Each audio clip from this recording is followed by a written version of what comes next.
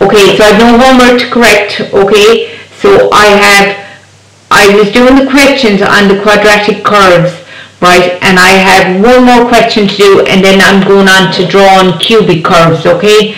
So they might ask you girls when a function is positive or. And what they mean is, right, when they, you can stick this into your notes. So when a function is positive or negative, mean, um, is it uh, above the x-axis or below the x-axis? So when it's a, this is the x-axis, remember the horizontal axis is the x-axis. So when it's above the x-axis, it's positive, and when it's below the x-axis, it's negative. So if I had a red biro, I'd cover, so here these two bits are positive, and the loopy bit down at the bottom, if I do a squiggly line, it's negative. Okay, so the heavy lines are positive, and if I do just a squiggly line below the, the, the x-axis, that's the negative bit. So positive and negative just means above the x-axis and below the x-axis. The y-axis has no has no um, no bearing whatsoever. So don't worry about the y-axis. So positive and negative just means is it um, above the x-axis or below the x-axis right? So if the bit that's above the x-axis, we say that's positive, and the bit that's below the x-axis is negative, okay? So when you this written down, you might give me a shout, and I'll be able to, well, I'll ask you and you can shout at me. I'll give you a sec.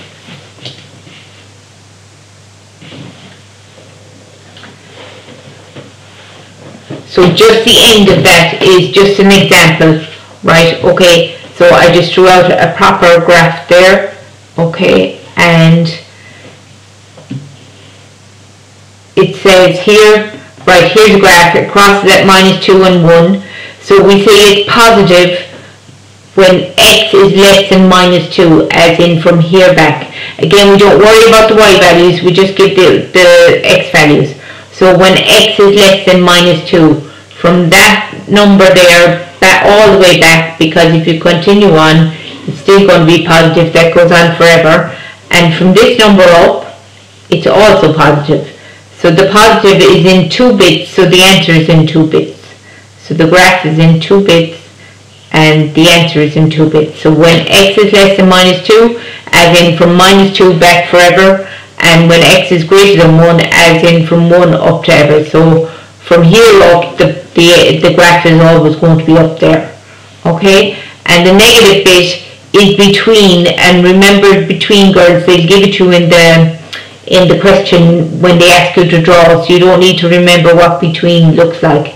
Just uh, remember what it means. So x, this means this is between. That just means between. So between minus 2 and 1 it's negative, as in it's below the x-axis. And the other way, the other two bits, right, it's positive. So from x less than minus 2, from there back, and from 1 up, it's above the x-axis, right? So if the graph is in two bits, the answer is in two bits, and if the graph is all together, it uses between symbol, okay?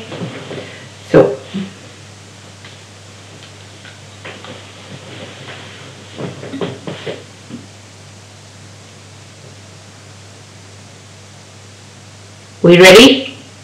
Unmute and go no if you're not ready. Are we ready?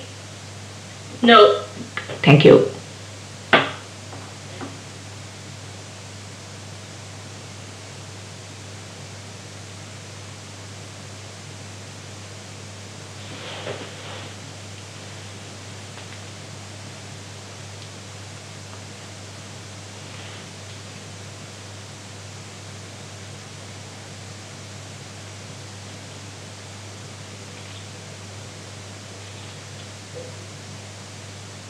Right, are we ready?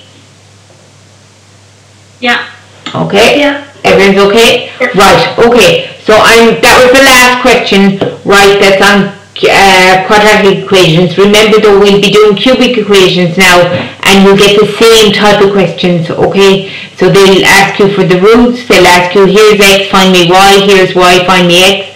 they'll ask you for the maximum and the minimum, and they might ask you when it's positive or negative, okay? But we'll cross all that when we get to it.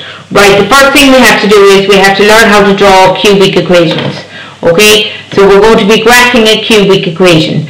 So basically a cubic equation, girls, has an x cubed term, okay? So it's going to be something x cubed. Now there might be an x squared term, there might be an x, there might be a number and so on. These are irrelevant. All you need is, an, if you have an x cubed term, this the graph will either look like this, so it starts low and finishes on a high, or it starts high and it does a twirly bit and it finishes on a low. Only one twirly bit, right? Okay, so a cubic equation when graphed will look like, it either look like this or this. So if the number in front of x cubed is positive, right, we finish on a high. So we start low and we finish on a high. When you're positive, you finish on a high, right?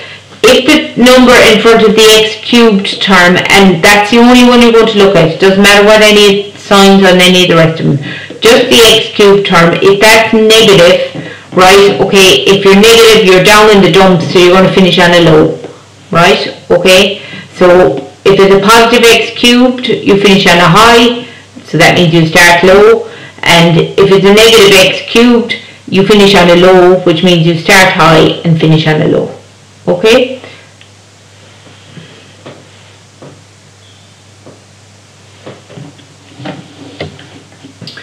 And when you draw these graphs, okay guys, there's two turning, these are called turning points, right? So here is a turning point and here is a turning point. Okay, I'll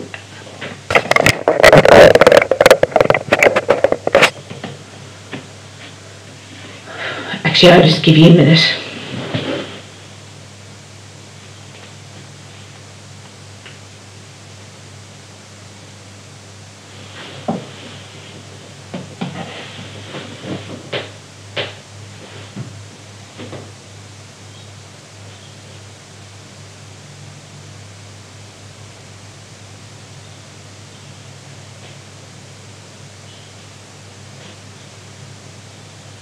Right, can, can I move it up? Have I cut someone off?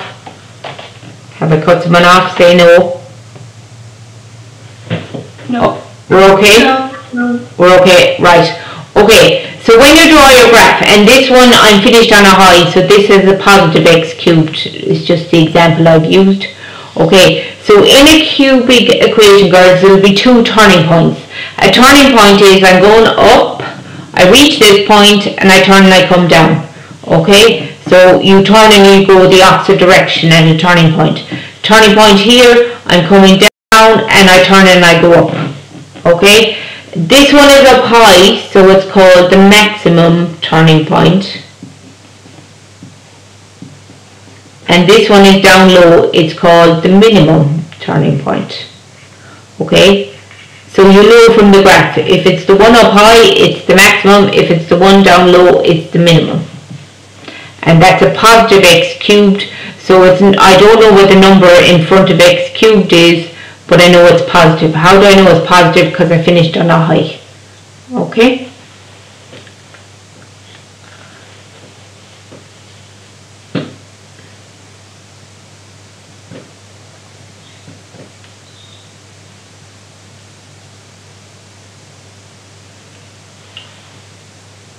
We good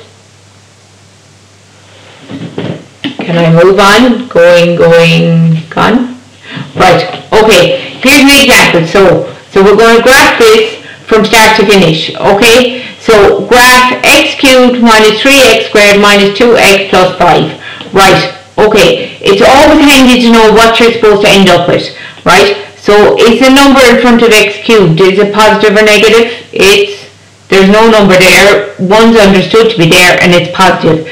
So when it's positive, it's going to finish on a high. So when I finish, my graph should look something like that. Okay? Right? So we'll, we'll um, it, it's handy to know what, what you're supposed to end up with. Okay? Right, so you have to graph this between minus 2 and 4. Now the method is the exact same, girls. You get f of minus 2. You get f of minus 1. You get f of 0. I'm doing it out the long way. I'll show you how to do it in the calculator in a minute.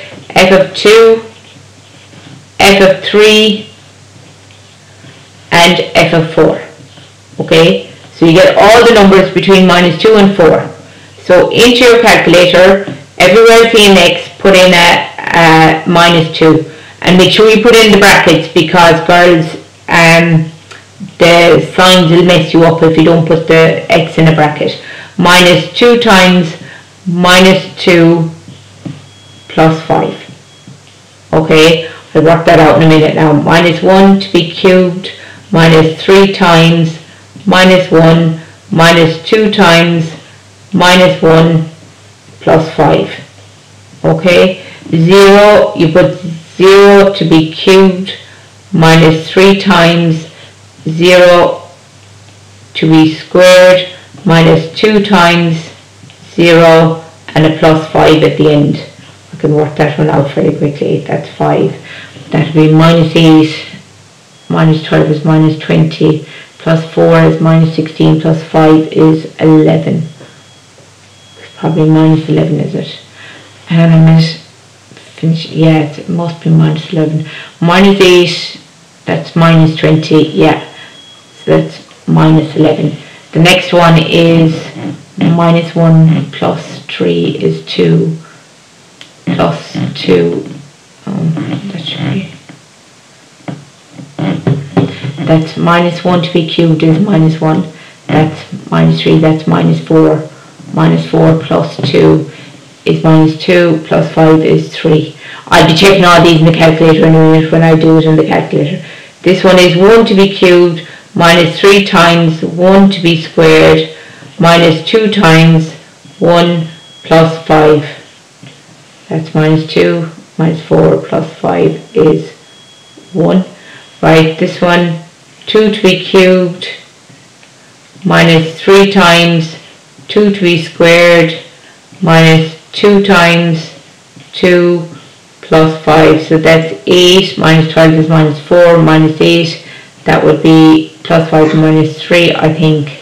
Right? The next one 3 to be cubed minus 3 times 3 to be squared minus 2 times 3 plus 5 I think is minus 1 right? Next one 4 to be squared cubed even minus 3 times 4 to be squared minus uh, 2 times 4 plus 5 and I definitely need a calculator for that I'd say that's 64 3 fours that's 3 16s or 48 that's 16 take away 8 is 8 plus 5 is 13 I think Right, okay. Anyway, how you do it on your calculator, okay? Right, okay, so you press mode, right, okay.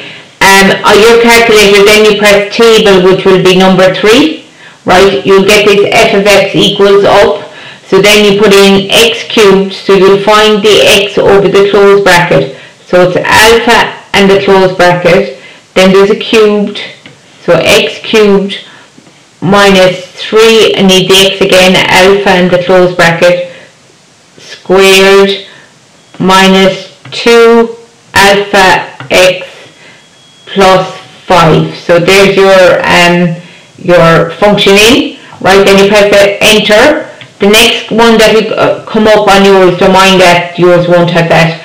Start is minus 2, so you start with minus 2, enter it end is 4 enter it and step 1 is always step 1 so just enter that right and you'll get up your table then right okay so I get sorry minus 2 minus 11 yeah uh, minus 1 3 0 3 1 1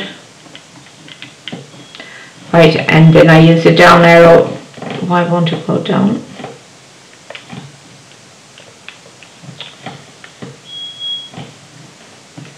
Okay, it won't move for me. I don't know what I'm actually doing. I'm messing it up anyway.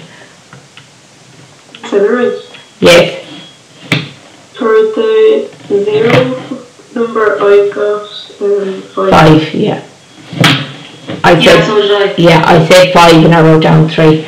Right, yeah, okay, right. I think, I think I'm right then. So the couples are minus two, minus eleven, right? Minus one, three, zero, five, um, one, one, two minus three, three minus one, is that minus one now or plus one? No, it's minus one, I think. I got minus one, yeah. Yeah, and the last one is four thirteen. Okay, right, so there's your points to draw your graph, okay? Um, what was I going to say, um, uh, one or the other, you either do it out by hand or use the calculator, you don't need to do both. I did both because I prefer the calculator, but some of you asked me, could you do that by hand, so I said I do both ways, okay? But you choose one or the other, right? And you don't need to show this, it's okay to go directly to your couples because they expect you to type it into the calculator, do you know what I mean?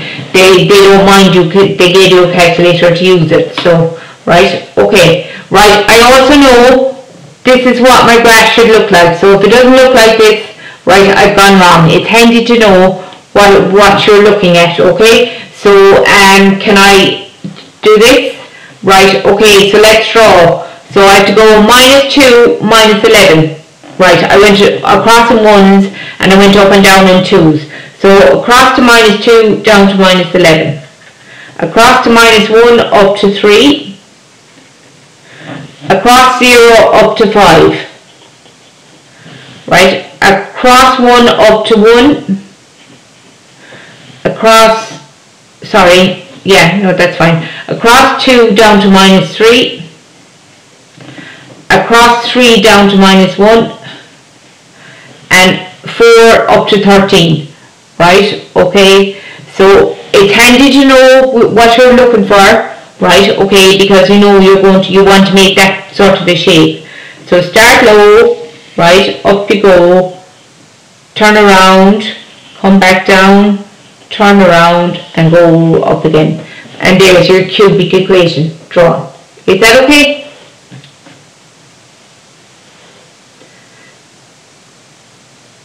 Okay, I'm not going to, yeah, I'm not going to get you to do any um, questions tonight, but just this is the maximum turning point because it's a turning point that's up high and this point here is the minimum turning point. It's where we turn to go back up. Is that alright? Okay, so I'm just going to ask you to do a couple of these tonight now and I didn't, I closed the book, sorry, so you'll have to give me a minute. Um, cubic functions, page 180.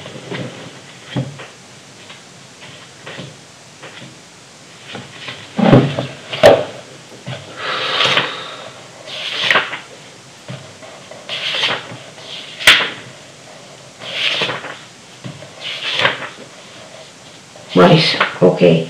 So if we um do page one seven seven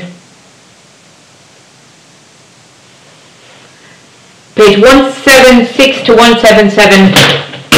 So page one seven six to one seven seven. One, two, and three. Now there's no questions on them. I will deal with all the the ones with the questions tomorrow. Okay? So page one seven six to one seven seven, question one, two, and three. Okay? So we'll leave the whole lot down and the work down um, and you can head off. And I'll see you tomorrow. I meet me every day now. I've decided. I know you decided you didn't want to, but I decided I want to. So yeah. Okay.